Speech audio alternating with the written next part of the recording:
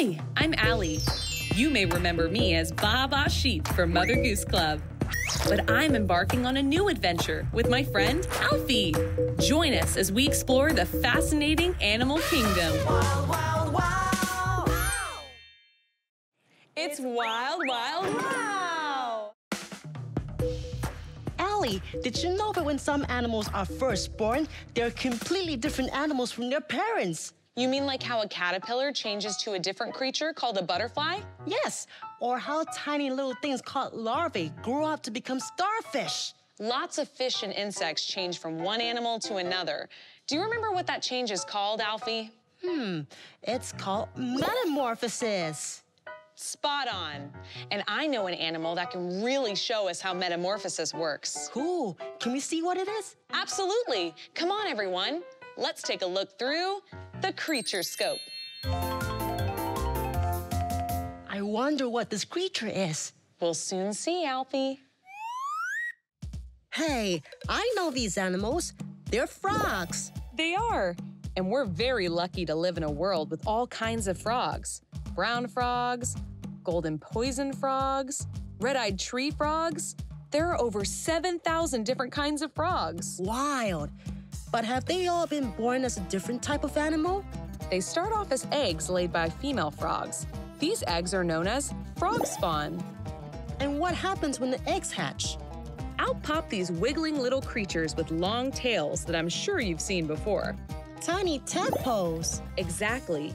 Those tails help them swim around while they look for plants to feed on. So they can grow bigger and stronger. Correct.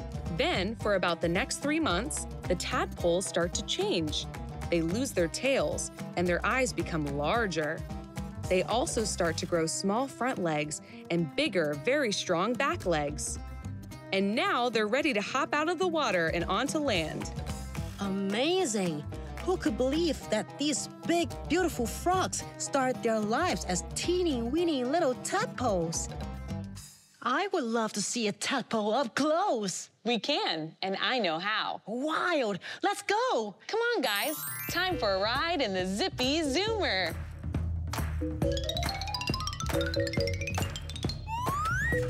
Ready, everybody? Let's wild, wild, wow. Hey there, kids, come gather around. Come meet the animals, adventures abound. Learning, exploring, let's seize let's play. Hills to jungles and seas, up in the sky to the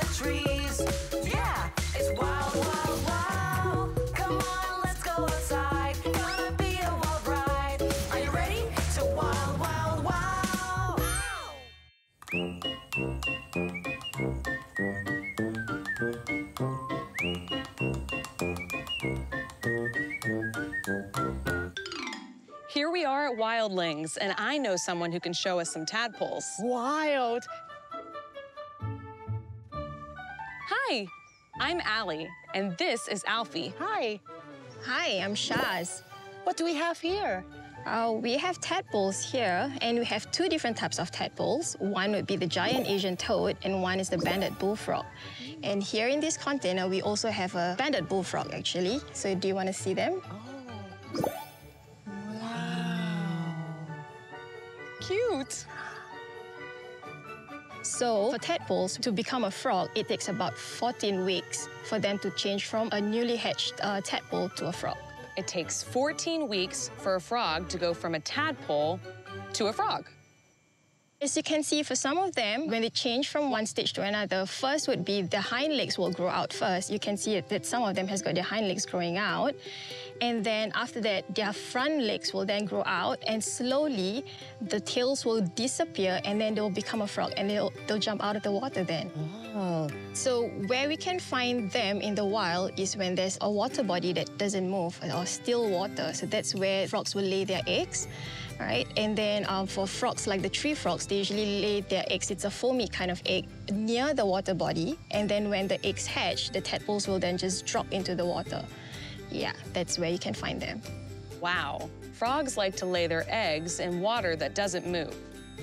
So you can actually keep frogs as pets, but it's actually a big responsibility because you have to ensure that they have the right environment for them to live in. So they need proper food and proper quality of water um, and everything that they need because if you do not do that, then it's not going to be good for them. Keeping frogs as pets is a big responsibility.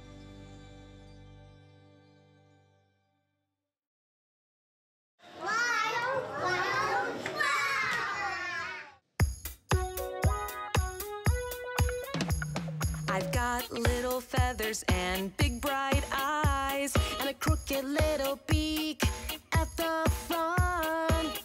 My mom is so much taller, my dad is so much braver. They're big flamingos, I'm just a tiny chick.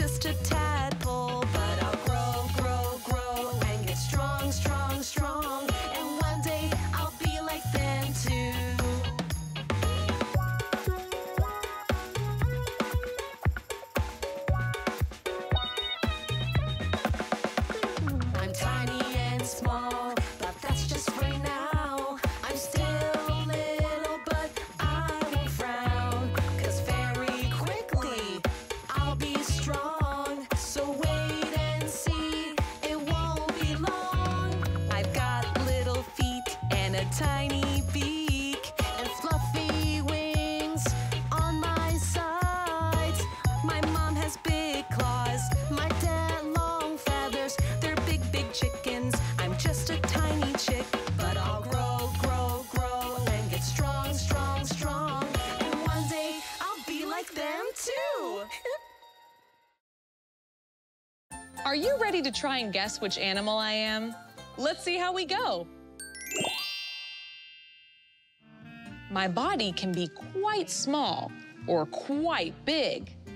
I'm very squishy to the touch, and you can see right through me.